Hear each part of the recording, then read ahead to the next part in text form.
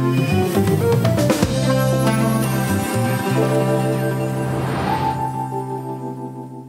بعد الكلمة الروحية الجميلة نبتدي مع حضراتكم أخبارنا دلوقتي. وأول خبر معانا الرئيس السيسي يعود إلى أرض الوطن بعد مشاركته في قمة العقبة الثلاثية وقمة العقبة اللي شهدت يعني لقاء ثلاثي ما بين الرئيس عبد الفتاح السيسي والملك عبد الله ملك المملكة الأردنية الهاشمية والرئيس الفلسطيني محمود عباس أبو مازن واللي أكدوا على ضرورة وقف إطلاق النار في غزة ولن ولن نسمح بتصفية القضية الفلسطينية.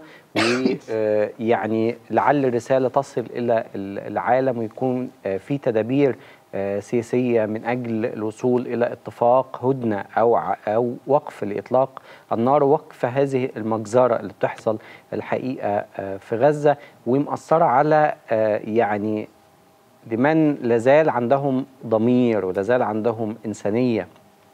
نتمنى أن القمة دي تكون بداية لقمم أكبر على مستوى الدول العربية وربما أيضا تخرج إلى يعني دول العالم كله من أجل وقف إطلاق النار في غزة.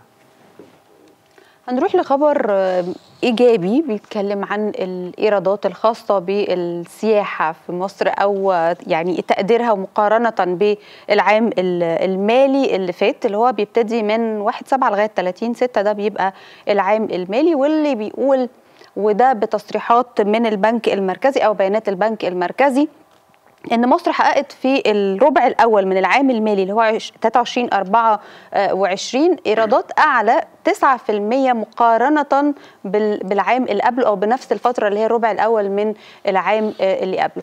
إيه السبب في الارتفاع ده؟ ودي حاجة إيجابية أو مؤشر إيجابي ودلوقتي رغم الظروف اللي بتحصل طبعا في المحيط أو في المنطقة واللي أكيد أثرت على كل المنطقة بشكل عام لكن لازال الأمل موجود والسياحة ما نقدرش نقول إنها اتقطعت حتى لو اتأثرت. وإيه الإجراءات اللي ممكن ناخدها أو التدابير عشان يكون في زيادة إن شاء الله في العام المالي الجديد؟ معانا أستاذ رامي فايز عضو غرفة المنشآت الفندقية في البحر الأحمر. أستاذ رامي صباح الفل. يا صباح الخير عليك يا هبة صباح الخير عليك. اسحاق كل سنة وحضرتك طيب وبخير. في كل بيت في مصر من كل يوم الصبح. شكرا, شكرا ليك كل سنة وحضرتك بألف خير.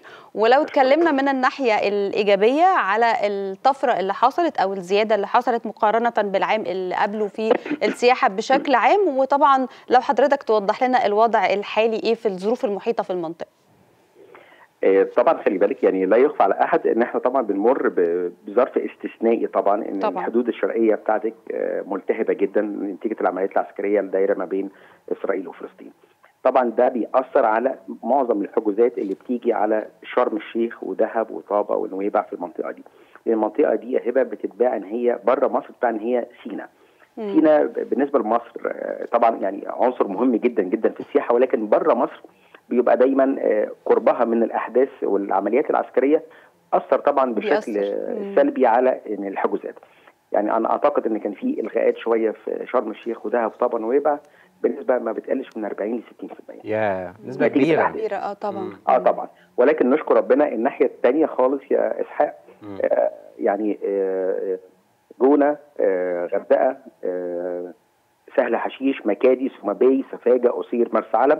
نشكر ربنا الإشغالات هناك ما بتقلش عن 80 ل 85% حلو خالص. يعني ما تقلقش ربنا برضه معانا ونشكر ربنا عليه. عايز أقول لك بس إن السنة اللي فاتت نشكر ربنا السياحة المصرية جابت حوالي 13.9 مليون سائح في 2023 دول دخلوا لخزينة الدولة المصرية حوالي 13.6 مليار دولار. خلي بالك إحنا عندنا فرصة يعني لا يستهان بها إن السياحة هي اللي تطلع الدولة المصرية دلوقتي طبعا. من المشكلة الكبيرة اللي إحنا فيها اقتصاديا. إحنا عايز أقول لك ان السياحة طلعت اليونان من شبه إفلاس في 2016 يعني طبعا. من بعد ما كان المؤشر الاقتصادي بتاعهم كان بالسالب لا دلوقتي طبعا يعني في 2018 على طول طلع بالإيجاب على طول. مم. إحنا عندنا الاوبورتيونتي دي عندنا الفرصة دي وأنا أعتقد إن إحنا إن شاء الله بإذن ربنا شغالين عليها كويس جدا جدا في 2024 لو الدنيا يعني ابتدت تهدى شوية على الحدود الشرقيه أنا أعتقد بدخول تاني شرم ودهب وطابة ونويبع والمنطقة اللي هي سينا كلها مع البحر الأحمر أنا أعتقد إحنا ممكن نشوف هو هو في بعض الأحيان. كان أستاذ رامي بيبقى أصلا التأثير آه، مصر بتتأثر بشكل عام يعني السياحة في مصر بشكل عام بتتأثر لكن من كلام حضرتك هو الجزء الخاص ب- بطابة أو نويبع أو الأجزاء دي هي اللي دلوقتي متأثرت لكن في إشغال بنسبة أكبر في أماكن تانية ف- فده مؤشر قوي إن شاء الله يعني مع هدوء الأحداث واللي كلنا بننتظره بإذن الله يكون في عودة أو قوة مرة أنا تانية كنت عايز بس أسأل أستاذ رامي آه، هل ممكن يعني في الفترة اللي جاية يبقى يتم ترويج المنتج السياحي بشكل أكبر. هل بتشوف حضرتك لو تم افتتاح المتحف المصري ال- الكبير أو لو في آه، أي spot على اكتشافات آه، آه، في مصر أو أو ده يؤدي إلى زيادة السياحة في الفترة اللي جاية؟ محتاجين إيه يعني عشان ترويج المنتج بشكل أفضل؟ بكل تأكيد طبعا إسحاق أنا بضم صوتي لصوتك أنت 100% أنت بتتكلم صح طبعا أنت خلي بالك إن إحنا ساعة لما عملنا موكب المومياوات. في في القاهرة من أيوة. التحرير لغاية آه، آه، الحضارة ولما عملنا كمان آه، طريق الكباش افتتحنا طريق الكباش، في نوفمبر في في الأقصر. عايز أقول لك اللي شافوا ال- الموضوع ده يعني حوالي 2.8 بليون آه. بني آدم مليار بني آدم في خلال 72 ساعة. إحنا خلي بالك المتحف المصري ال- الجديد إن شاء الله ال Grand Egyptian Museum آه. ده خلصان بنسبة 99.9% إحنا منتظرين فقط لا غير إن يكون ال- العالم مستعد إن هو يستقبل افتتاح حدث بالزخم ده. إحنا ده هيتفتح مرة واحدة بس في التاريخ. فاحنا منتظرين فقط لا غير إن الدنيا تبقى هادية بس سياسيا ويعني اقتصاديا شوية في العالم لأن إحنا ما فيش ملك ورئيس ومش هيجي يحضر الافتتاح. يا رب. ده هيديك طبعا زخم ترويجي كبير جدا لفترة لا تقل عن سنة واثنين. فإحنا إن شاء الله في انتظار 2024 أنا أتمنى يا رب يا إن هي. تكون عامل ذروه للسياحه المصريه إن شاء يا الله. رب. بشكر حضرتك جدا أستاذ رامي فايز عضو غرفة المنشآت الفندقية بالبحر الأحمر. وصباح الفل على حضرتك. شكرا لك وعن أخبار الأرصاد الجوية. أمطار تضرب الإسكندرية وكفر الشيخ ومطروح وت- وتمتد إلى 13 آه، محافظة. آه، إسكندرية وكفر الشيخ ومطروح وعدد كبير من المحافظات. وامبارح كان في بعض الأمطار على بعض المناطق في القاهرة. أمطار خفيفة لكن متفرقة في عدد كبير من ال- المناطق. والشتاء السنة دي شتاء الحقيقة جميل ودافي وحلو يمكن ما حصلش من سنين طويلة. نتمنى إن هي يطول أكتر آه، من كده. وتعالوا نشوف مع بعض درجات الحرارة.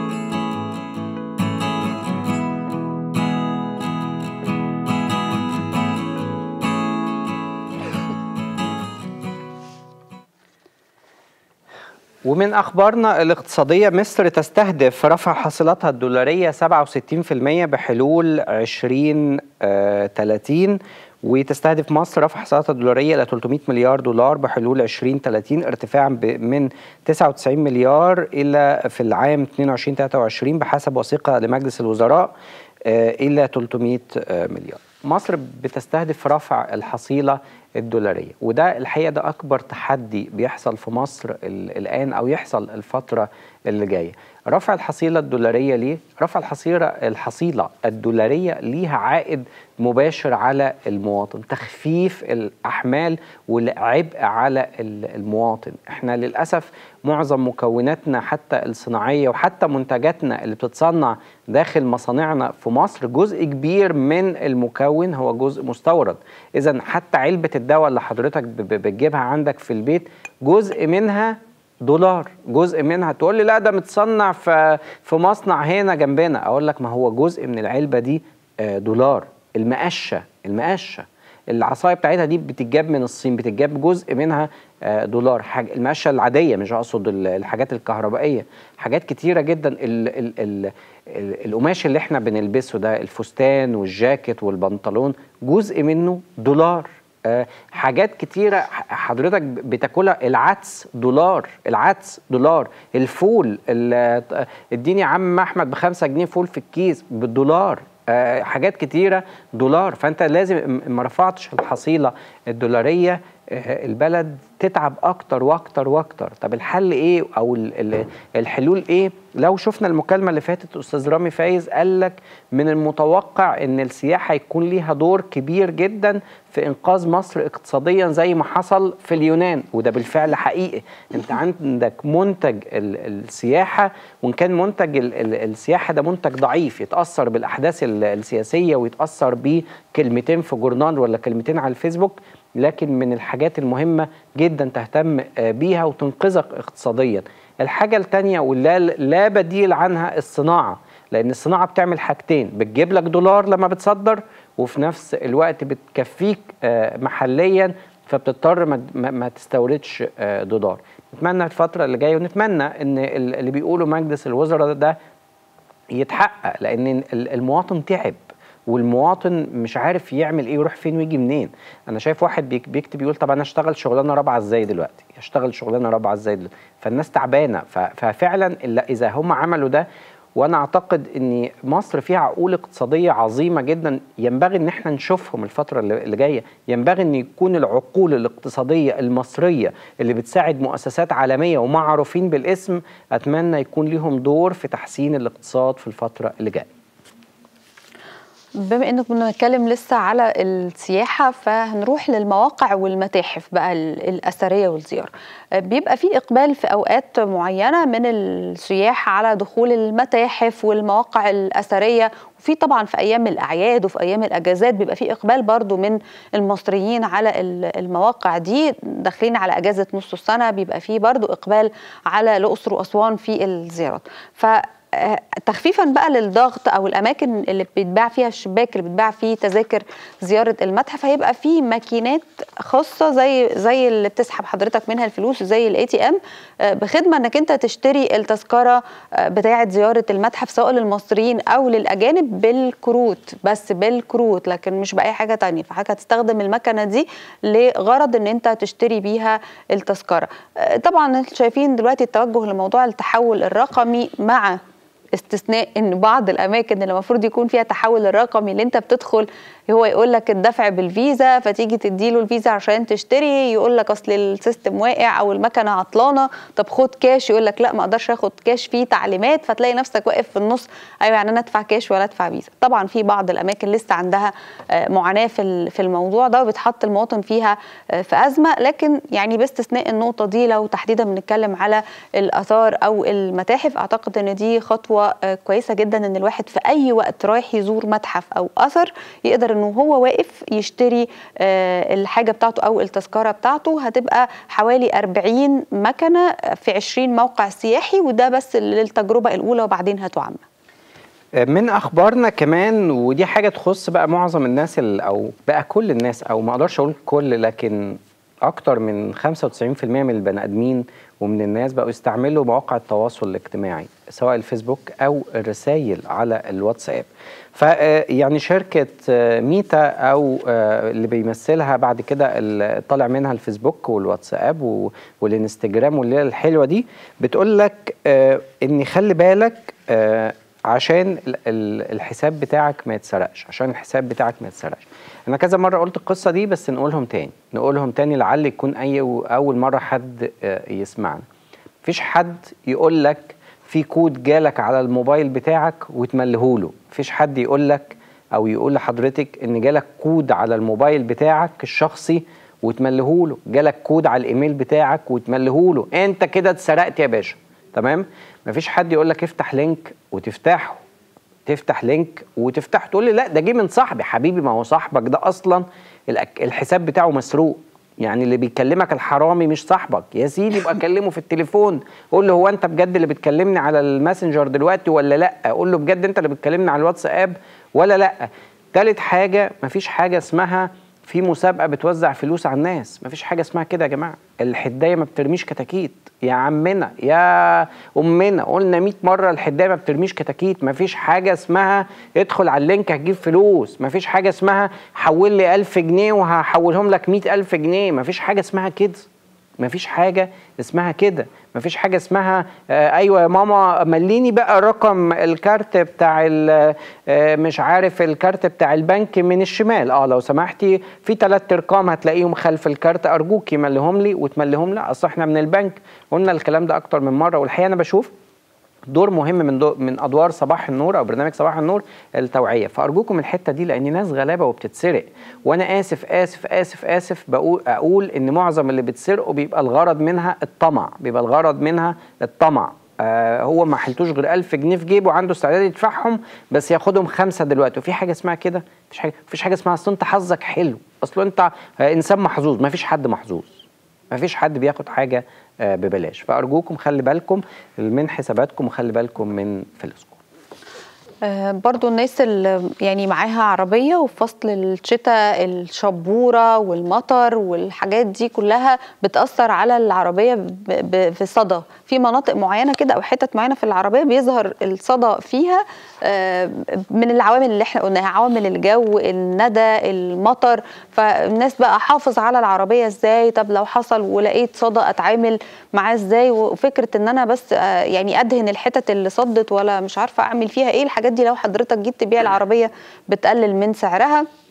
فالنصايح البسيطة اللي هي أهمها إن أنت تحط الغطا بتاع العربية في فصل الشتاء حتى لو بتكسل في الصيف تعمل كده غطيها وأنت في في الشتاء. وفي حاجات كده بتتباع خاصة بالصدى بيقول لك حطها على قماشة أو على منديل ونظف بيها مكان الصدى. بس لو حرصنا على شوية الحاجات البسيطة دي في في الشتاء تعدي الفترة دي من غير ما يبقى في خسائر في عربيتك. النهارده عندنا موضوعين أنا شايفهم إن هم الموضوعين مهمين جدا النهارده.